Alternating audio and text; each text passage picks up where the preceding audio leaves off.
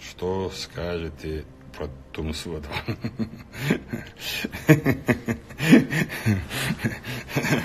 Про него у нас один дом. Говорите, да. Э, э, Ну.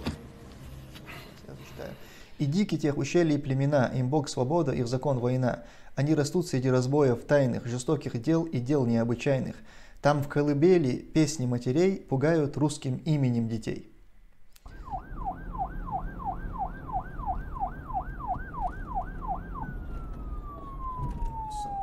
Почему ты обо всех преступлениях в Чечне говоришь так, как будто лично Кадыров их все совершил? Потому что так устроен мир. Ответственность несет руководитель. Почему о всех преступлениях нацистской Германии мы говорим так, как будто бы их лично Гитлер все совершил? Эти печи э, в фильтрационных или контра, контра каких-то там этих лагерях, их же не лично Гитлер топил. Однако мы же виним в этом Гитлера. Точно так же и здесь. Потому что мы не, не применяем двойные стандарты, понимаешь? Раз во всем виноват Гитлер, значит, во всем также должен быть виноват и Кадыров.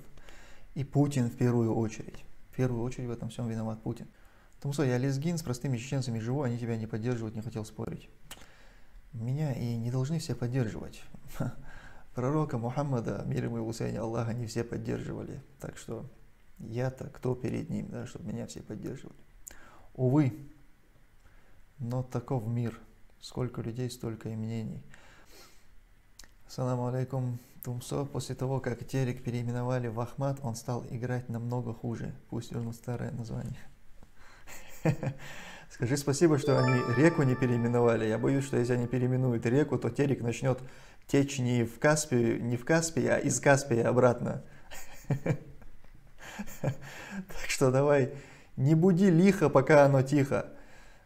В отличие от тебя, наш пророк мир ему цене Аллаха не противоречил самому себе. Но, безусловно, я же поэтому сказал, кто я такой перед пророком мир ему цене Аллаха, если даже тому, кто не противоречил самому себе, кто был лучшим созданием этого мира, если даже были те, кто были недовольны им, то, конечно, будут люди недовольны мной, тем более, если я еще и противоречу самому себе. Том, что недавно смотрел интервью Радуева, так он говорил, что мы освободим весь Кавказ, хотят Кавказские республики этого или нет, это ведь завоевательские идеи. Тебе надо было еще посмотреть выступление Радуева, где он приговаривал Ельцина к смертной казни. Радуев был веселый парень. Он много интересных таких заявлений делал. Я подписал приговор, он сказал Ельцину. Удивлен твоей грамотностью и произношением. Благодарю. Сколько языков знаешь и почему Рамзан спустя столько лет на госдолжности не смог нормально выучить язык? Да и по-чеченски диалект у него странный. Это нормально? Почему Рамзан спустя столько лет на госдолжности не смог нормально выучить язык? Потому что способность к познанию это она ну, не каждому человеку это дано. Понимаете, этим отличается тупой от дурака. Вот многие не понимают разницы между тупым человеком и дураком, а это совершенно разные люди. Интересно, Кадыров грамотно разговаривает на чеченском языке? Поверь мне, нет, он вообще не разговаривает на чеченском языке нормально. Он говорит на каком-то непонятно смешанном русско-чеченском языке с, с каким-то проглатыванием окончаний, у него какой-то дефект речи, короче, его очень сложно понять даже чеченцу, то, что он говорит. Что скажете про Тумсу?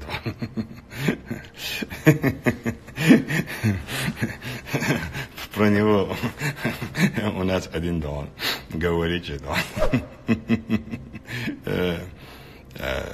Ну,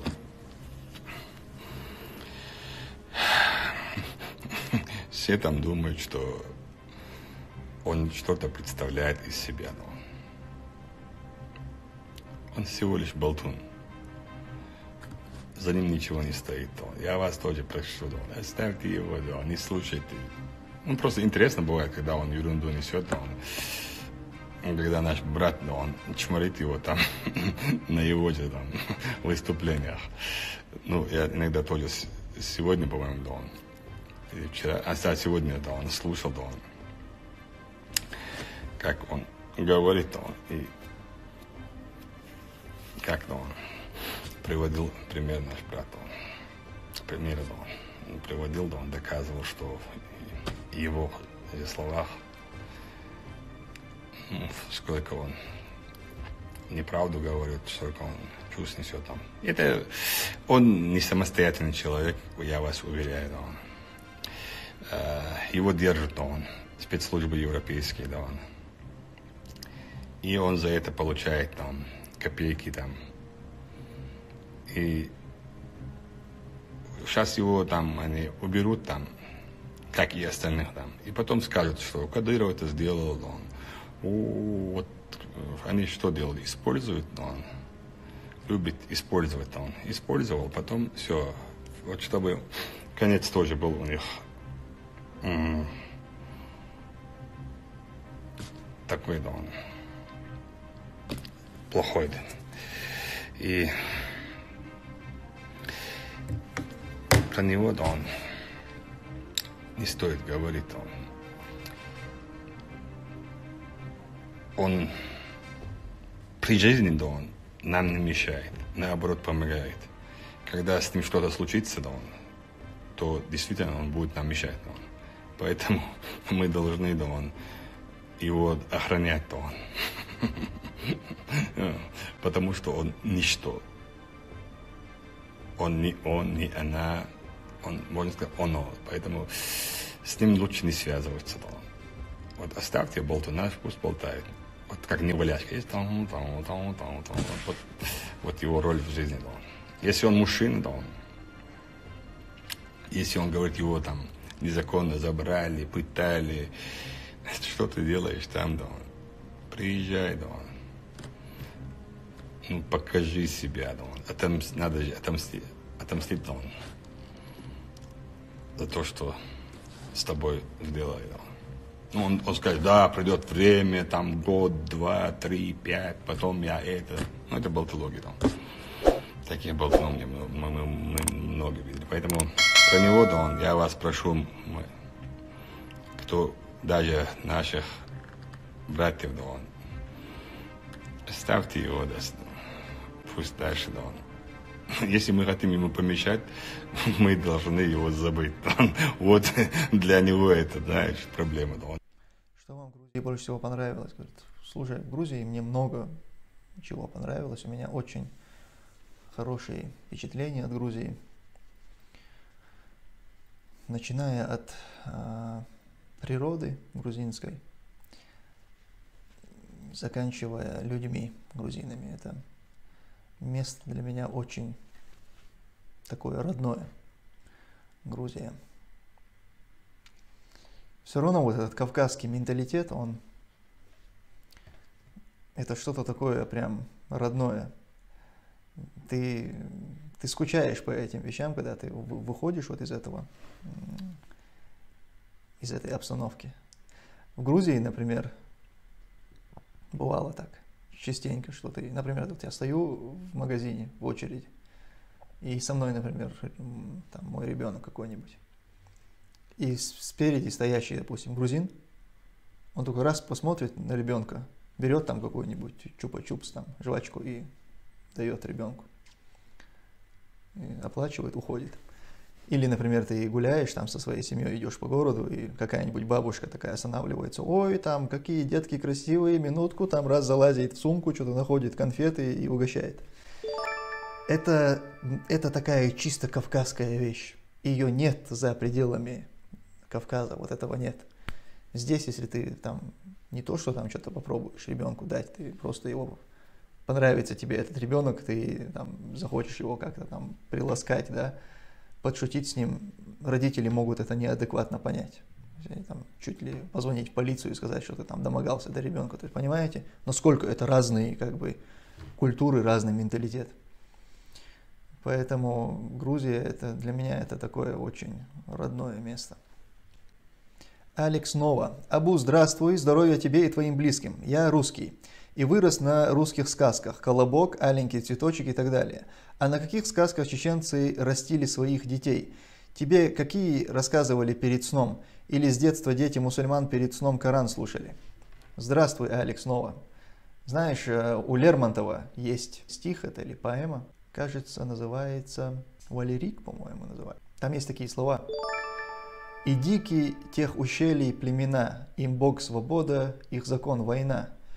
Они живут среди, а, они живут среди чего-то там явных, каких-то дел и дел необычайных.